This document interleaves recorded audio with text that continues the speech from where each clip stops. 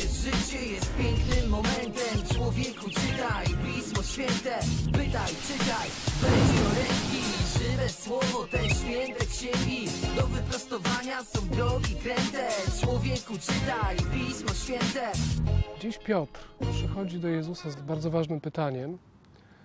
Pyta go o kwestię przebaczenia. Pyta, czy mam przebaczać aż siedem razy. Jest to kontynuacja poprzedniej Ewangelii, kiedy była mowa o upominaniu brata, o pozyskaniu brata. A właśnie dziś Piotr pyta się, jak to zrobić. Czy jest możliwe, że mam przebaczać siedem razy, aż zawsze siedem razy? Odpowiedź jest zaskakująca, bo Pan Jezus mówi mu nie siedem razy, ale 77 razy. I tutaj następuje niesamowita klamra, która spina Stary Testament z Nowym. Stary Testament miał taką zasadę odpłaty. Po raz pierwszy zjawia się to w historii Lameka, to był potomek Kaina, który mówił o pomście. Jeśli Kain miał być pomszczony 7 razy, to Lamek miał być pomszczony 77 razy. A tu mamy coś nowego. Mam przebaczać 77 razy.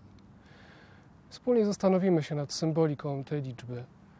Cóż ona oznacza, jakie ona ma konsekwencje dla nas dzisiaj, kiedy czytamy tę Ewangelię, kiedy słuchamy odpowiedzi razem z Piotrem.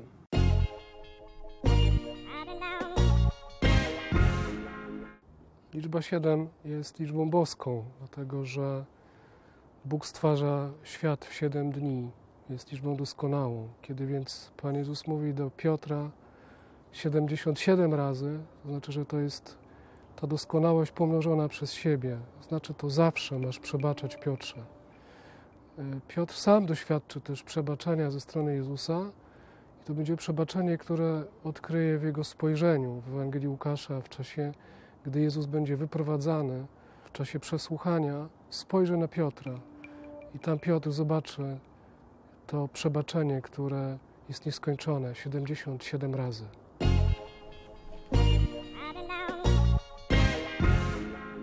Pan Jezus Piotrowi już nic więcej nie tłumaczy, tylko opowiada mu przypowieść o nielitościwym dłużniku, który był winien swemu Panu 10 tysięcy talentów.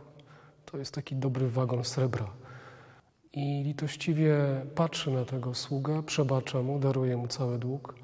Jakby awansem chce go wychować do tego, że przebaczenie jest czymś bezcennym.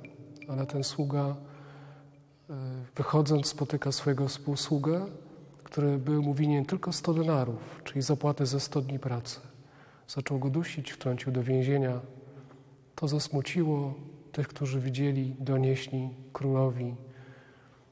A on mówi, czyż i ty nie powinieneś by ulitować się nad swoim współsługą, jak ja ulitowałem się nad tobą? W Ewangelii odkrywamy takie, takie dwa nurty o przebaczeniu. Pierwsze to jest taki jak tu właśnie, że Bóg przebacza jakby awansem, chcąc nas nauczyć przebaczenia. Ale też z drugiej strony prosimy o to przebaczenie, kiedy w modlitwie Ojcze Nasz mówimy odpuść nam nasze winy, jako i my odpuszczamy naszym winowajcom.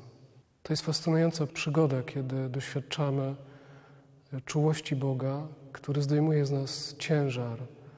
77 razy zdejmuje z nas ciężar, daje nam nowy oddech życia, nową wolność. Możemy pójść w świat właśnie tacy uwolnieni, Przebaczenie zawsze jest jakimś sekretem Bożego miłosierdzia, które wzywamy, szukając Go wzrokiem, sercem, patrząc na Niego, gdy modlimy się: Jezu, ufam Tobie. Przebaczenie to jest to samo, co zapomnienie. Przebaczenie to jest jakaś niesamowita też łaska uzdrowienia pamięci. Kiedy przebaczam, zostaję uwolniony na poziomie serca.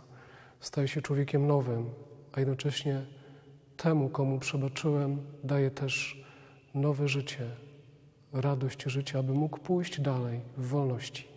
Bóg nas wychowuje do tego, żebyśmy byli ludźmi przebaczającymi zawsze, a to daje nam przestrzeń do życia, do oddechu, do modlitwy, do nowych spotkań, do nowych planów, do pójścia w życie dalej.